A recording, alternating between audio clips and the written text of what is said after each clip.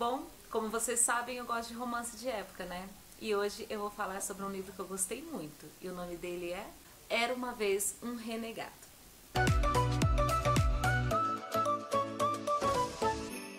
Oi, oi, gente, bem-vindos ao meu canal Luz dos Livros e eu sou a Lu. E sim, o vídeo de hoje vai ter um romance de época que eu não esperava. Sério, eu não esperava, zero ansiedade, porque vocês sabem, né? Se eu começo a ler um autor novo, eu já fico com o pé atrás, para não me decepcionar. Vocês sabem que até o momento eu gosto muito da Lisa Clay, sério, porque eu gosto muito dos livros dela. Tô gostando bastante de ler Courtney Milan, sério, da série Os Excêntricos. E aí, gente, eu comprei uma coleção de uma série realmente dessa autora, Lohane Hert, que é a série True Love. Eu acho que é assim que fala, né? Que é os irmãos True Love.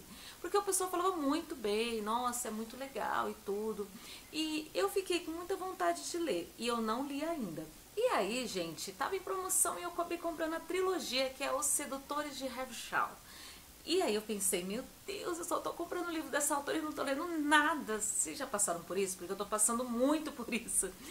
E aí esse livro estava em promoção, era o primeiro livro, assim, já lançou o segundo, né? Já li esse primeiro, mas lançou já o segundo que é Era Uma Vez Uma Impostora. E eu vou falar por que, gente, eu acabei comprando o segundo, mesmo não lendo nada, porque eu já tinha lido esse e eu gostei. Sério, me surpreendeu, eu não esperava gostar, eu gostei. E aí eu falei, não, tenho que ler a continuação, né, de, é de outro personagem que aparece nesse livro.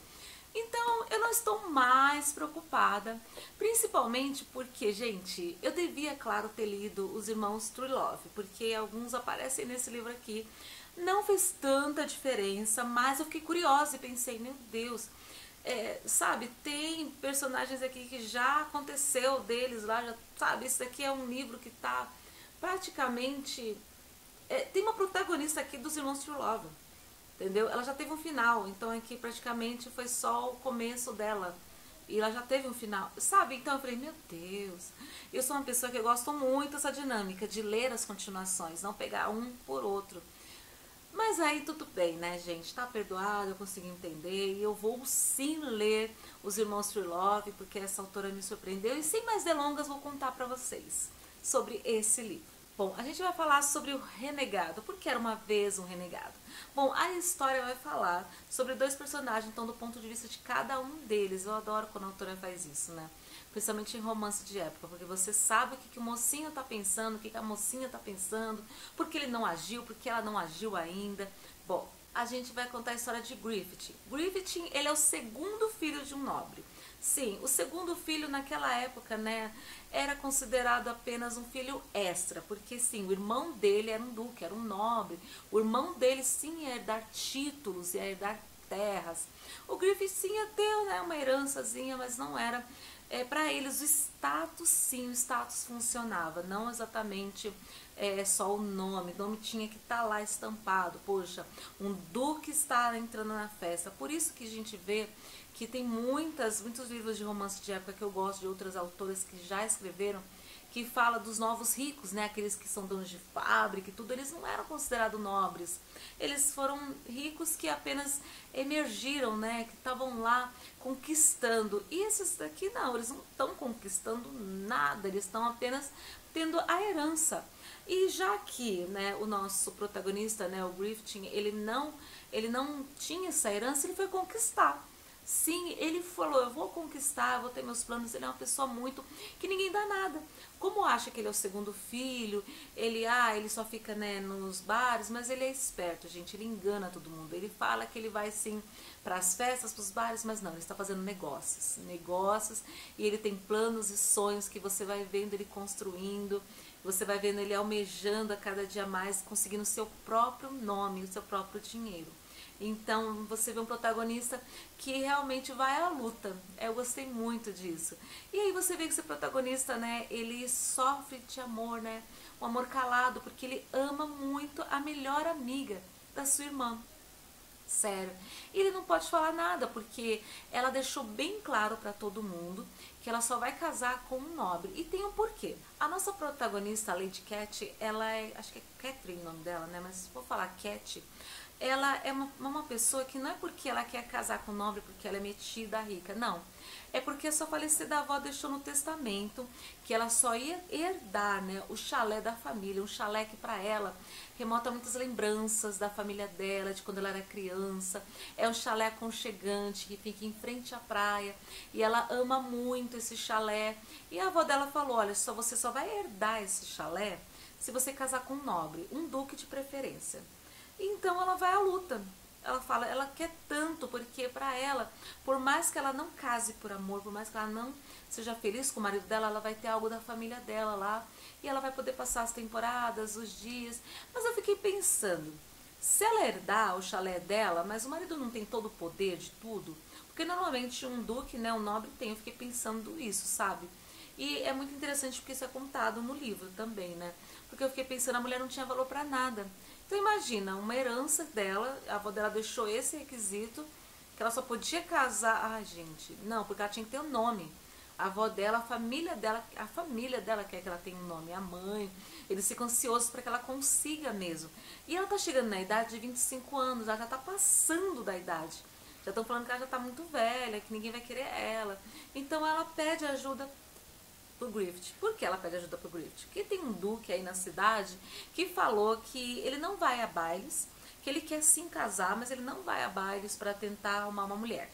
Ele falou que ele quer cada um escreva uma carta para ele, netidão, né? Quero que cada um escreva uma carta para mim, falando das suas qualidades. Eu vou analisar, ler a carta e aí sim eu vou querer conhecer a pessoa. Só que ela não sabe o que falar e ela fala: eu vou acabar contando mentiras, as pessoas também vão contar mentiras sobre ela. Eu quero ser sincera. Ela é muito sincera nas suas palavras, principalmente porque ela é uma mulher, e mulher não poderia ser sincera. Mulher tinha que concordar com tudo que o marido ou um homem fala. Sério, uma roda de conversa você tinha que ir moderadamente. Você falou muita coisa legal, gostei muito do que você falou, mas ela não. Ela é sincera, ela já fala o que ela pensa. Então ela pede ajuda pro Griffith. Você pode me ajudar a escrever uma carta para que eu possa conquistar né, o Duque? E o Griffith, gente, vocês acham que ele vai? Sim, ele ama ela. Ele quer vê-la feliz. Ele sabe que ela não vai querer casar com ele porque ele acha que ela não vai porque ela quer casar com nobre. Ele não sabe realmente as intenções dela, por que ela quer casar com nobre. Ele acha que é porque é, tem título, né? Ela quer viver bem. Mas mesmo assim, não importa perguntando o porquê dela, ele vai ajudar ela porque ele ama. Isso que é amor, né? Ele não busca os seus próprios interesses. Então, ele vai lá e fala: tá, eu te ajudo, eu vou ajudar você a escrever a carta, eu vou conversar com ele. E aí você fala como se deve falar e tudo. E ela vai à luta. E quando o Duque pega a carta dela, lê, e ele acha muito legal as coisas que estão escritas nessa carta, né? Que ela nem sabe o que está escrito porque foi o Griffith que escreveu. Ele vai ao encontro dela e ele acha ela muito sincera. E ela às vezes fala, ah, eu não podia ter falado isso, mas aí o Griffith fala, ah, mas foi legal o que você falou. Ele tá interessado, porque você não tá fingindo. Gente, eu tava falando com vocês de repente cortou porque meu cartão de memória estava cheio. Eu tive que voltar. Onde é que eu parei? Onde que eu parei? Que ela começa a ter uma conversa muito, muito, muito assim, íntima com o Griffith. Sim, ela começa a ver que o Griffith é muito legal. Então ela fala pro Griffith tudo que ela tá sentindo olha, Griffith, é isso, é, será que ele vai gostar disso? E ela começa a perceber que o Griffith conhece ela muito melhor, que ele sabe como ela fica, quando ela fica ansiosa, quando ela fica triste. Ele sempre observava ela, né? E aí, gente, eles têm essa amizade quando ela começa a conhecer ele, não apenas como o irmão da melhor amiga dela, não. Apenas ela começa a ver que ele é mais que isso que ele gosta dela, que ele quer proteger ela, ela consegue ser muito mais verdadeira com ele do que com o Duque que ela quer casar. Ela vê que ela não está sendo sincera e ela fica pensando: será que eu vou ter uma vida feliz de mentiras? Eu vou ser feliz realmente desse jeito só por causa de um chalé? Então ela começa a pesar na balança. E quando a gente fica pensando, né, o Griffith já passou por tanta coisa, né, o pai dele esnobando ele por ele ser o segundo filho, não tendo amor realmente, nem ligando muito para o que o Griffith quer, as coisas que o Griffith sonha, porque ele é apenas um filho extra, ah, teve mais um filho, que legal, tive dois filhos homens, ótimo, tipo isso, né, o pai é muito ausente. E aí ele descobre os segredos do pai e realmente esse é o plot twist da história, né? Quando a gente acha que o casal já está sofrendo, a autora ela fala: "Vou piorar a situação para deixar vocês ainda mais com um coração assim desesperado para saber o final". Sim, gente. E eu sei que vai ter outros livros dessa série. Nós temos o segundo livro, como eu mostrei para vocês, que realmente é, tem outros personagens aqui que a gente fica curiosa e que a autora ela quer trabalhar e ela vai trabalhar muito bem, tenho certeza, eu espero, né?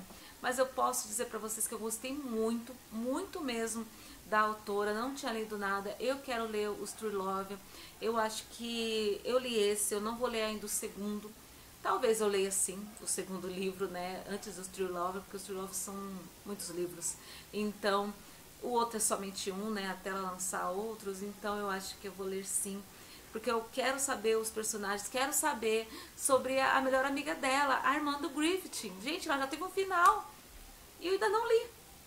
Mas tudo bem, não tem problema, gente. Eu quero ler, eu quero contar para vocês aqui no canal o que eu achei. E se você gostou desse vídeo, por favor, curta, me siga para mais vídeos como esse. Coloque nos comentários o que você achou. Se você tem alguma dica de outra autora, né, de romance de época, porque eu tô descobrindo várias, que eles, elas não só deixam é, a história somente nas partes românticas, mas elas trabalham muitas outras coisas, como personalidades, traumas, situações acontecimentos de uma época que a gente às vezes pensa, poxa, tá tão distante, mas não, não estava tão distante, né? Alguns 200, 100 anos atrás, a mulher já não tinha poder, hoje ela tem lutado e a autora ela mostra isso, como isso evoluiu a passos lentos. Então, assim, Romance de época não é só romance, mas sim é para mostrar o desenrolar, o desenvolvimento da nossa sociedade, como ela evoluiu e como ela tem que evoluir. Espero que vocês tenham gostado. Se vocês gostaram, não esquece de curtir este vídeo, não esquece de me seguir nas redes sociais. Um super beijo, gente. Tchau!